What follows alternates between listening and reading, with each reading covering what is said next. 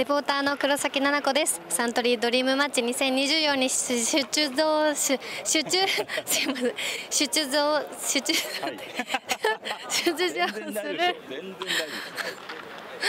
塚選手に来ていただきました。ありがとうございます。はい、よろしくお願いします。はい本日のお気持ちをお聞かせください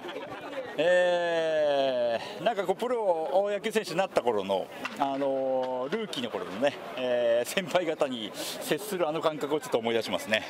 はい、ありがとうございます、はい、サントリードリームマッチの思い出とかありますか、はい、あのまあ、現役の頃からあの成績をしっかりね、えー、残した選手が出れる試合だっていうのはあの見てて感じましたので、まあ、自分が実際引退して、えー、このような場所にね呼んでもらえてすごくありがたいなって気持ちもありますしね。あの現役時代は本当に勝負してた方々と、まあ、こうやって楽しくまた試合をやらせてもらえるってこんな楽しいことはないので。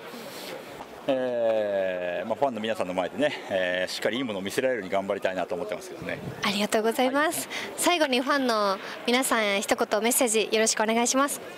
まあ、現役当時ほどはね、まあ、当然動けないですし、力もなくなってますけども、えーまあ、あの打つ形であったりとかね、えーまあ、野球を楽しんでる姿を見てもらって、まあ、なあ喜んで帰ってもらえるようにね、えー、頑張りたいと思いますので、はい、ぜひ応援してもらえればと思います。ありがとうございます。はい、頑張ってください。